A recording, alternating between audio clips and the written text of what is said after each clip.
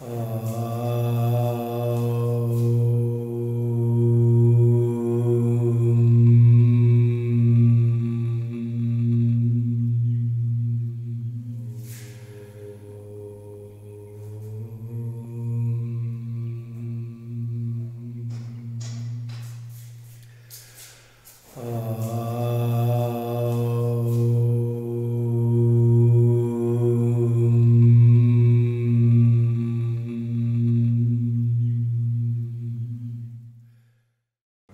कुछ महान आत्माएँ होती तो कहीं और की हैं, लेकिन शरीर धारण कहीं और कर लेती हैं। ऐसी ही एक महान विभूति, एक योगी हैं, मिलोवन स्टेनको। फ्रांस के एक महान वैज्ञानिक हैं, किंतु हिमालय के प्रति इनका आकर्षण, इनका प्रेम, इनकी भक्ति इनको पिछले 25 सालों से लगातार हिमालय की ओर आकर्षित करती रही है। ये प्रतिवर्ष हिमालय आते हैं और गहन हिमालय में जाकर साधना करते हैं। दैव योग से मेरी इनके साथ मित्रता हुई। और जब भी ये दिल्ली आते हैं तो मेरे अनेक ध्यान मार्ग के मित्रों के साथ मिलते हैं, अपने अनुभवों को साझा करते हैं। बिल्कुल हमारे जैसे ही हैं, गृहस्थ आश्रम में रहने वाले। और ये ऐसे योगी हैं जो अध्यात्म की ओर आकर्षित हुए। तो न किसी भय से, न किसी लोभ से, न किसी दुख से। अक्सर इंसान परमात्मा की ओर यात्रा या तो लोभ के कारण करता है, भय के कारण करता है, या फिर दुख के कारण करता है।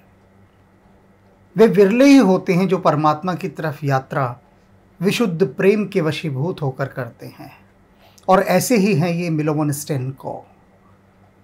परमात्मा ने इनको इतना दिया है, राम जी की इतनी कृपा है, इतनी कृपा है कि बड़े से बड़े धनियों में ये गिने जाते हैं। लेकिन समस्त ऐश्वर्य के होते हुए भी एक साधक के समान हिमालय में तपस्या करते हैं। इनका वह तपस्वी रूप इनकी तेजस्विता, इनका आभा मंडल मैंने बहुत गहराई से अनुभव किया है। और आज मैं इनके जीवन की कुछ झलकियाँ जो रिकॉर्डिंग्स मेरे पास रखी थी, आप सभी के साथ साझा कर रहा हूँ। हिमालय की रिकॉर्डिंग नहीं दिखा रहा मैं इस वाले में। अभी सिर्फ़ वे रिकॉर्डिंग जो दिल्ली में इनके पधारने पर कुछ मित्रों के साथ शूट की गई हैं। तो आइए, एक ध्यान योगी के साथ हम भी थोड़ा हिल मिल लें। मिलोवन स्टेन कौजी मेरे मित्र स्वामी विवेक भारती जी से मिलने, नारनौल स्थित उनके विवेकानंद शक्तिपीठ में गए। वहाँ पर वे उन पर्वतों को, कच्चे रास्तों को, हरियाली को, एक सहज और सरल चित्त दृष्टि के साथ देखते रहे, निहारते रहे। मिलोवन जी जब भी भारत आते हैं तो दिल्ली में हमारे घर पर अवश्य पधारते हैं। अब की बार जब वे आए तो उन्होंने मुझे हिमालय के अनेक दुर्लभ वीडियो दिखाए, जो उन्होंने वहाँ के सन्यासियों और प्राकृतिक दृश्यावलियों के रिकॉर्ड किए थे। फिर उन्होंने हमारे घर पर श्री शैलेंद्र सक्सेना जी को बुलाया और उनको भगवान राम पर लिखे मेरे आध्यात्मिक उपन्यास, वनवास और अनहोनी भेंट किए तथा उन्हें इनके भीतर के सार तत्व से अवगत कराया। मिलोवन जी, मेरे आत्मीजनों का भी समय समय पर मार्गदर्शन करते रहते हैं। वे कभी किसी चीज़ के लिए कोई नखरा नहीं करते। मैंने उनसे कभी कोई शिकायत नहीं सुनी। किसी भी चीज़ की कभी उन्होंने शिकायत की ही नहीं। और बड़े प्रसन्न होकर दिशा निर्देश देते हैं, मेरे आत्मीय जनों को कि वो किस प्रकार से अपने जीवन को सुंदरतम रूप में परिचालित करें। अनेक मेरे मित्र समय समय पर उनको अपने घर आमंत्रित करते रहते हैं, जिससे उनके परिवार के सदस्य भी उनसे लाभान्वित हो सकें। श्री पंकज गर्ग जी सदा उनके दर्शन करने आते हैं और मित्र समूह को बुलाकर परिचर्चा का आयोजन करते हैं।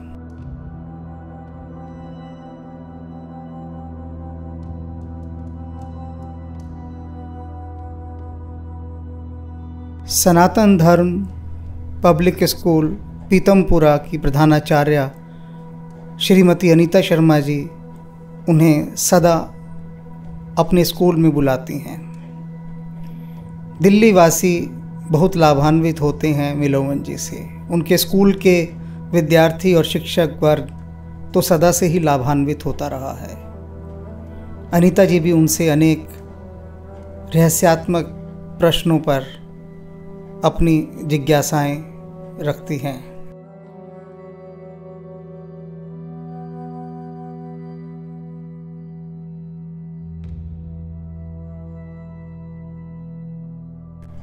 मिलोवन जी उनके ध्यानपूर्ण उत्तर देते हैं।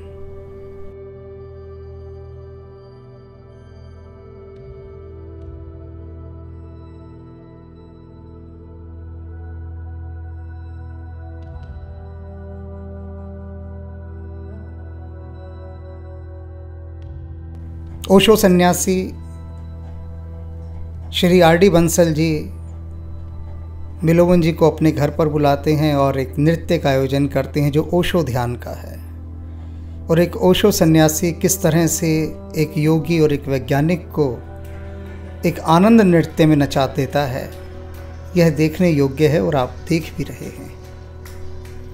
एक बालक के समान निश्चल बालक के समान, सरल बालक के समान। एक योगी, एक वैज्ञानिक किस तरह से नृत्य का आनंद ले रहा है, प्रभु के नाम का नृत्य।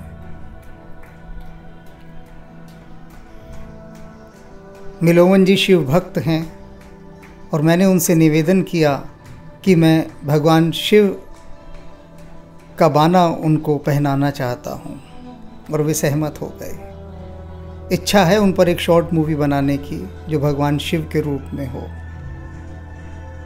तो उनको मैं भगवान शिव के बाने के रूप में सुसज्जित करने के लिए मनाने में सफल हुआ। और बड़ी आनंदपूर्ण स्थिति के साथ उन्होंने मेरा यह प्रस्ताव स्वीकार किया। भगवान शिव का बाना धारण करके वे स्वयं भी एक महान ऊर्जा से भर गए, दिव्य ऊर्जा से।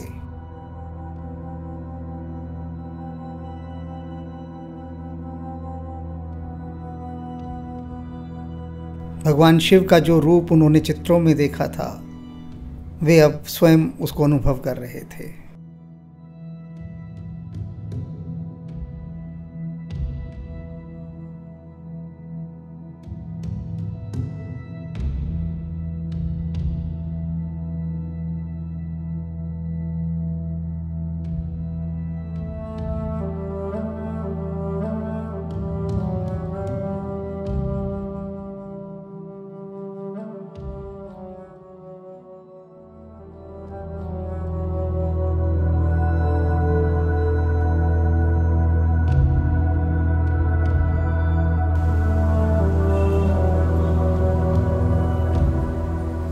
ऋषि मुनियों ने दुख से ग्रस्त संसार के लोगों को बताया कि केवल ग्रस्त आश्रम में ही अपने जीवन का सारा समय नष्ट न करें।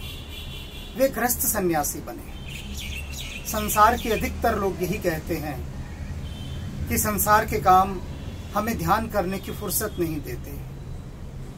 जो जिम्मेदारियाँ हैं, वो हमें ध्यान के मार्ग पर बढ़ने नहीं देती। लेकिन गृहस्थ सन्यासी होने का अर्थ ही यही है कि आप दोनों के बीच में एक समन्वय, एक तालमेल, एक हारमोनी बिठाएँ। और इसके अनेक उदाहरण हमें अपने आसपास देखने को मिलते हैं। भारत के वे ऋषि जिन्होंने वेद लिखे, वे सभी गृहस्थ सन्यासी थे। तो आज ऐसे ही एक महान गृहस्थ सन्यासी से मैं आपका परिचय कराने जा रहा हूँ, जो परम ऐश्वर्य के स्वामी हैं। फ्रांस के निवासी हैं। नाम है मिलोवन स्टेनको। संसार का हर ऐशो आराम उनके पास है, लेकिन उसके बाद भी वो ध्यान के मार्ग पर पिछले 30 वर्षों से लगातार चल रहे हैं। और पिछले 26 वर्षों से लगातार भारत में आकर एक महीने तक हिमालय में रहकर घोर तपस्या करते हैं, ध्यान करते हैं ध्यान लीन रहते हैं। और भारत के जो एक योगी हुए हैं, महेश योगी, उनके ये शिष्य रहे हैं। तो आइए इनके विषय में कुछ और जानकारी और उसके बाद भारत के अंदर जब भी ये आते हैं तो अनेक ज्ञान के पिपासु इनसे प्रश्नोत्तर करते हैं, बातचीत करते हैं। तो इनके विषय में जानकारी के बाद एक छोटा सा वीडियो उस प्रश्नोत्तर से भी हमने लिया है। आइए। Milovan Stankov is a citizen of France. He is a unique example of a yogi in whom one finds a perfect fusion of scientific and Vedic knowledge. His enigmatic, loving presence is a delight for all. Mr. Milovan Stankov serves as R&D Director and General Advisor at NG Biotech. Moreover, he was founder, president, and chief executive officer of Veda Lab, France.